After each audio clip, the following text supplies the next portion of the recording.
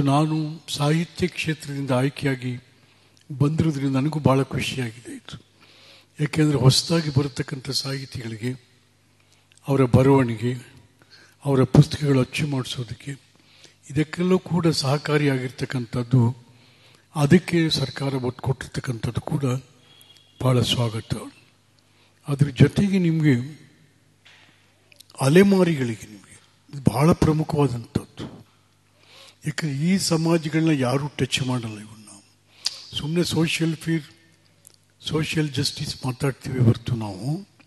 ಅಲೆಮಾರಿಗಳು, ಹಿಂದುಳಿದ ಅಲೆಮಾರಿಗಳು, ಪರಿಶಿಷ್ಟ ಪಂಗಡ ಜಾತಿ ಅಲೆಮಾರಿಗಳಿಗೂ ಕೂಡ ಒಟ್ಟು ನೂರು ಕೋಟಿ ರೂಪಾಯಿ ಕೊಟ್ಟಿದ್ದಾರೆ.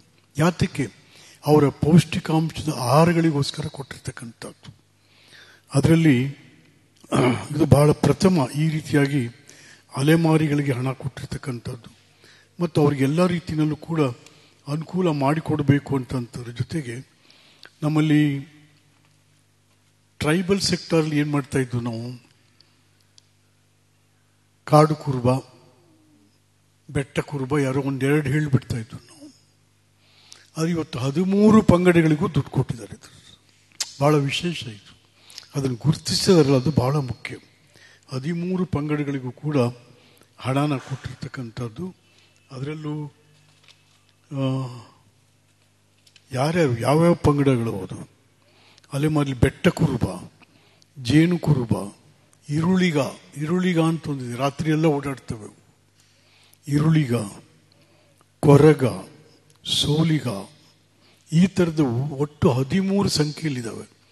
ಈ ಹದಿಮೂರು ಸಂಖ್ಯೆಗೂ ಕೂಡ ಅವರು ಬಡ್ಜೆಟ್ ಕೊಟ್ಟಿರ್ತಕ್ಕಂಥದ್ದು ಮೆಚ್ಚುವಂಥ ಕೆಲಸ. ಯಾಕೆಂದರೆ ನಮ್ಗೆ all this microscopic schedule caste or microscopic scheduled ಕಮ್ಯುನಿಟಿಗಳಿವು ಅವುಗಳನ್ನ ನಾವು ನೋಡಲ್ಲ. ನಾವು ಲೆಫ್ಟ್ ಅಂತೀವಿ ರೈಟ್ ಅಂತೀವಿ, ಮಧ್ಯೆ ಯಾವುದೋ ಅಂತ ಹೇಳ್ತೀವಿ ಕ್ಲೋಸ್ ಅದು ಇಂಥ ಸಮಾಜಗಳನ್ನು ಕೂಡ ಸರ್ಕಾರ ಪರಿಗಣಿಸಿರತಕ್ಕಂಥದ್ದು ನಾವು ಮೆಚ್ಚೋ ವಿಚಾರ ಅಂತಕ್ಕಂಥ ಈ ಸಂದರ್ಭದಲ್ಲಿ ಹೇಳೋದಕ್ಕೆ ಇಷ್ಟಪಡ್ತಾ ಇನ್ನು ಮಹಿಳಾ ಸಬಲೀಕರಣದಲ್ಲಿ ಕೂಡ ಎಪ್ಪತ್ತು ಸಾವಿರ ಕೋಟಿ ರೂಪಾಯಿ ಕೊಟ್ಟಿದ್ದಾರೆ ಇದರಲ್ಲಿ.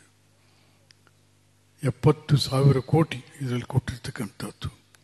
ಅದರಲ್ಲಿ ತಮಗೆಲ್ಲರಿಗೂ ಕೂಡ ಗೊತ್ತಿರೋ ಹಾಗೆ ಹಿಂದೆ ಸಾವಿರದ ಒಂಬೈನೂರ ಎಪ್ಪತ್ತೈದನೇ ಇಸ್ವಿಯಲ್ಲಿ ನಮ್ಮ ಜಿಲ್ಲೆಯವರು ಎನ್ ರಾಚಯ್ಯನವರು ಅಂತ ಸಮಾಜ ಕಲ್ಯಾಣ ಮಂತ್ರಿಗಳಾಗಿದ್ದರು ದೇವರಾಜ ಕಾಲದಲ್ಲಿ ಅವರು ಜಾರಿಗೆ ತಂದಂಥದ್ದು ಅಂಗನವಾಡಿಗಳು.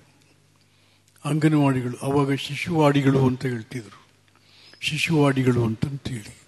ಎಪ್ಪತ್ತೈದರಲ್ಲಿ ಪ್ರಾರಂಭ ಆಯಿತು. ಅದೆಷ್ಟು ಚೆನ್ನಾಗಿ ಕಾನ್ಸೆಪ್ಟ್ ಇಟ್ಟಿದ್ದಾರೆ ಅಂತಂದರೆ, ಇದು ನಾವು ನಾವು ತಿಳ್ಕೋಬೇಕು ಇದನ್ನು, ಬರೀಬೇಕು ಅದನ್ನು. ನೋಡಿ, ಒಬ್ಬ ಹೆಣ್ಮಗಳು ಗರ್ಭಿಣಿ ಆದರೆ ಆರನೇ ತಿಂಗಳಿಗೆ ಮಗು ಸಮೇತ ಅವ್ರಿಗೆ ಆಹಾರ ಕೊಡೋಕ್ಕೆ ಶುರು ಆಗುತ್ತೆ ಒಂಬತ್ತನೇ ತಿಂಗಳಿಗೆ ಡೆಲಿವರಿ ಆದರೆ ಮನೆಗೆ ಗರ್ಭಿಣಿ ಮಗುನ ತಂದುಬಿಡಬೇಕು. ಅದಕ್ಕೆ ವ್ಯಾನ್ಗಳಿದ್ದಾವೆ ನಮ್ಮ ವರ್ಲ್ಡ್ ಹೆಲ್ತ್ ಸ್ಕೀಮ್ನಲ್ಲಿ ಮನಮೋಹನ್ ಸಿಂಗ್ ಕಾಲದಲ್ಲಿ ಕೊಟ್ಟದಂಥದ್ದು. ಆಮೇಲೆ ಮಗುಗೆ ಫೀಡಿಂಗ್ ಶುರು ಆಗುತ್ತೆ. ಎಷ್ಟು ದಿವಸ? ಮೂರು ವರ್ಷ ಮನೆಯಲ್ಲೇ. ಮೂರು ವರ್ಷ ಆದಮೇಲೆ ಮಗು ಅಂಗನವಾಡಿಗೆ ಬರುತ್ತೆ. ಅಂಗನವಾಡಿಲಿ ಫೀಡಿಂಗ್ ಶುರು ಆಗುತ್ತೆ. ತ್ರೀ ಇಯರ್ಸ್ ಅಲ್ಲಿಗೆ ಮಗುಗೆ ಆರು ವರ್ಷ ಆಗುತ್ತೆ. ಆರು ವರ್ಷಕ್ಕೆ ಪ್ರೈಮರಿ ಸ್ಕೂಲಿಗೆ ಬರುತ್ತೆ. ಅಲ್ಲಿ ಮಧ್ಯಾಹ್ನ ಊಟ ಕೊಡ್ತೀವಿ, ಬಟ್ಟೆ ಕೊಡ್ತೀವಿ, ಪುಸ್ತಕ ಕೊಡ್ತೀವಿ ಇದು ಸೊ ಹೀಗೆ ಒಂದು ಮಗು ಆರು ವರ್ಷದ ತನಕ ಗರ್ಭಿಣಿತವಿಂದ ಹೇಗೆ ಅದನ್ನು ಪಾಲನೆ, ಪೋಷಣೆ ಮಾಡಬೇಕು ಅಂತಂದಕ್ಕೆ ಮಕ್ಕಳ ಮತ್ತು ಶಿಶು ಕಲ್ಯಾಣ ಇಲಾಖೆ ಬೇಕಾದಷ್ಟು, ಆದರೆ ಏನು ಮಾಡ್ತೀರಾ? ಇದು ಯಾರ್ಯಾರೋ ತಿಂದು ಹೊಟ್ಟೋಗ್ತಾ ಇದ್ದಾರೆ ಕಡೆ. ಎಪ್ಪತ್ತು ಸಾವಿರ ಕೋಟಿ.